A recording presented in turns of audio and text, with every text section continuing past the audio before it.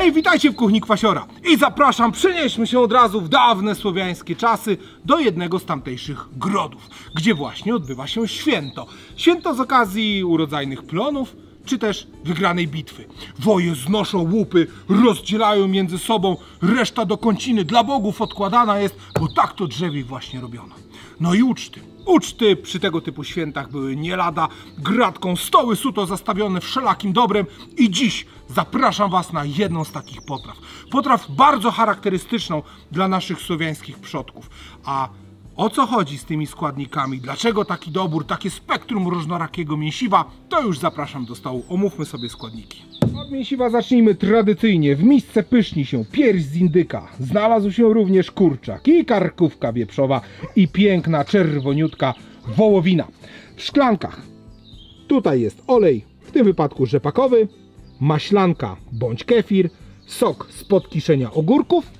W kuflu znajduje się porter bałtycki, a z przypraw ja dziś będę używał słowiańskie leśne licho, pierną zmorę, staropolskiego ziołowego szczerbca oraz niezwykle aromatycznych kosmitów.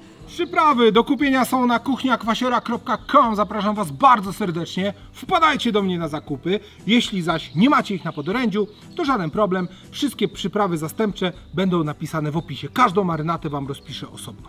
No i teraz koncepcja powstania tego dania to jest w ogóle przepiękny dowód yy, słowiańskiego biesiadowania i gotowania. Otóż każdy z domów w drzewie miał za zadanie przygotować jeden rodzaj mięsiwa na swoją modłę. No i na przykład ten sarninę miał, zamarynował, przyniósł. Ten świnie bił, zamarynował, przyniósł. Ten gdzieś tam drób, a ten w polu zająca ustrzelił, zamarynował, przyniósł.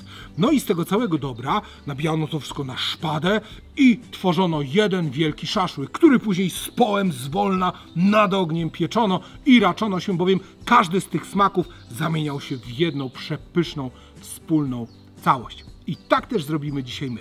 Także zaczynamy od pokrojenia mięsiwa mniej więcej na takie same e, części oraz sporządzamy marynaty. Mięsko.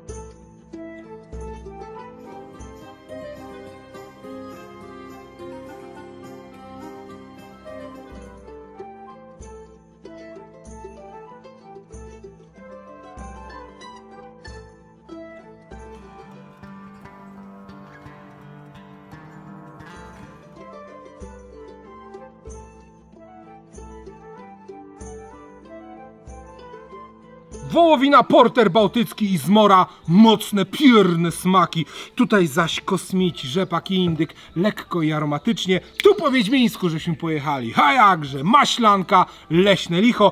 Tutaj zaś sok spod ogórków kiszonych, staropolski szczerbiec i wieprzowina. Niesamowite cztery marynaty. Zostawiamy to teraz na 2-3 godzinki, żeby się zamarynowało. Chwilka za nami, mięsiwo jest już zamarynowane, możemy tworzyć szaszłyk. Na jedną długą szpadę nabijamy mięso naprzemiennie.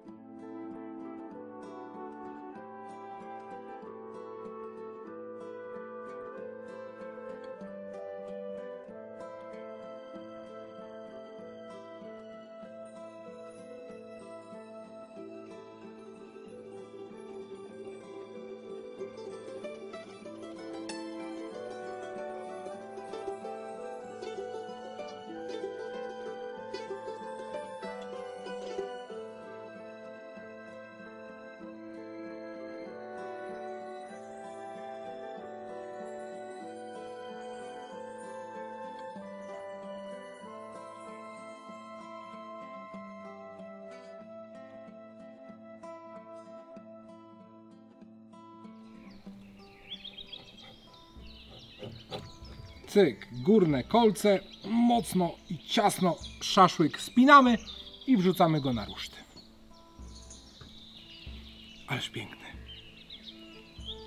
Aż szkoda piec taki piękny.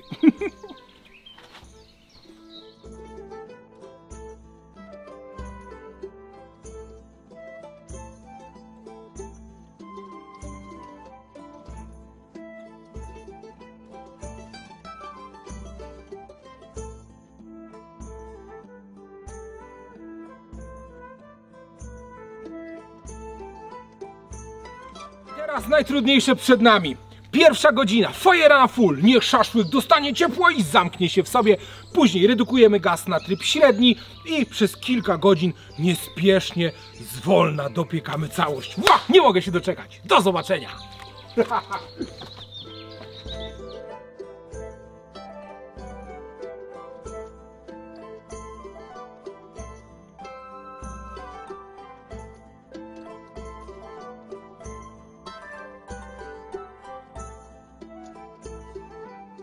Półtorej godziny za nami, czas wykonać pierwsze równające szaszłyk krojenie.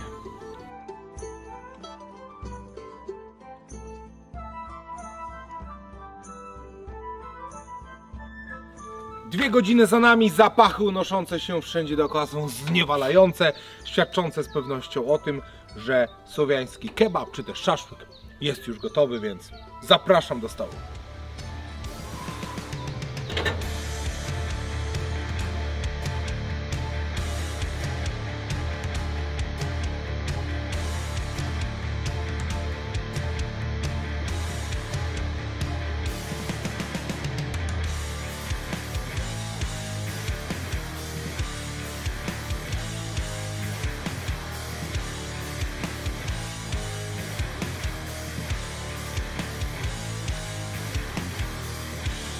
Piorun.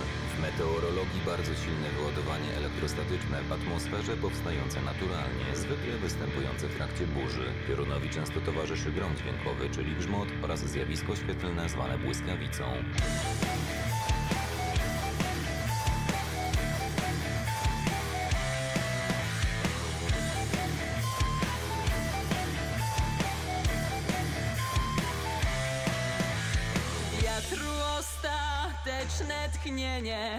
Znikło w monotonii nocy. Wtem tysiące słońc rozbłysło Lękiem rażąc prosto w oczy. Błysk topora, mocny cios Wprost w otwarty ziemi brzuch. Tak od wieków zbiera radę Gromowładny stary Bóg. Trochę tutaj jeszcze tego po boku, bo nigdy nie dość tak zacnie przygotowanego mięsiwa. I cyk! Róbcie sobie kebab czy też szaszłyk słowiański i niech wam się darzy jak najlepiej, przyjaciele. A ja tymczasem skaczę w paszczę demona przyjemności. Pozdrawiam! Do zobaczenia!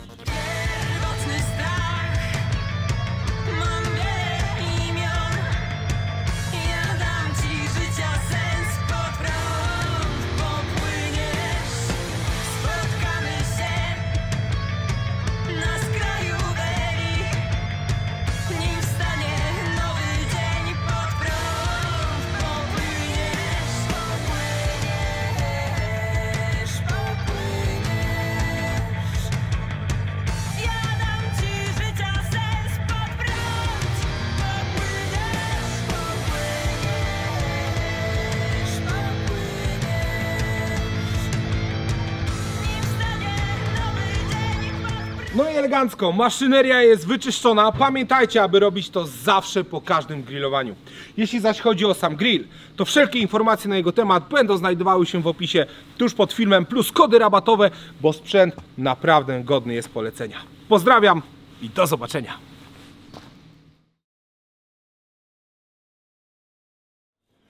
Dzieciaki, chodźcie zobaczycie jak to dawniej Słowianie skrajali mięcho.